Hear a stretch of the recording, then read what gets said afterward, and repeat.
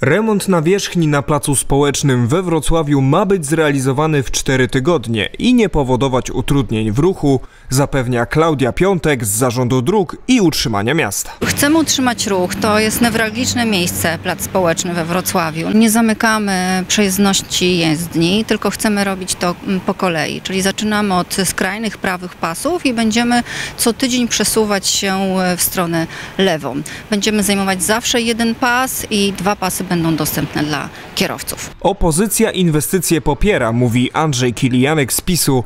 Jednak ich liczba powoduje, że miasto jest nieprzejezdne, dodaje. Pierwszym czynnikiem są zaległości e, poprzedniej ekipy, która de facto rządzi lat 20, tylko z, nazwiskiem innego prezydenta w tej chwili.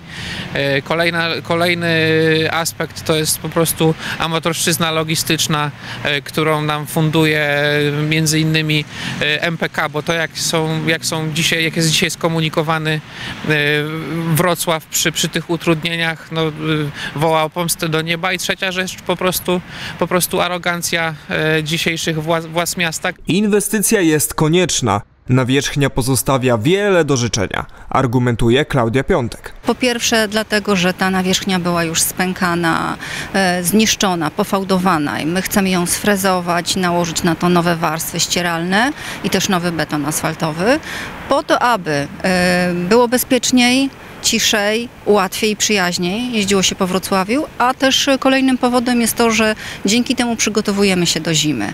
E, Ta droga w ten sposób e, nie będzie tak narażona na, e, na wodę, na spękania późniejsze, no i później będzie się w efekcie jeździło lepiej po Wrocławiu. Remont powinien zakończyć się przed 15 grudnia i jego koszt to milion złotych.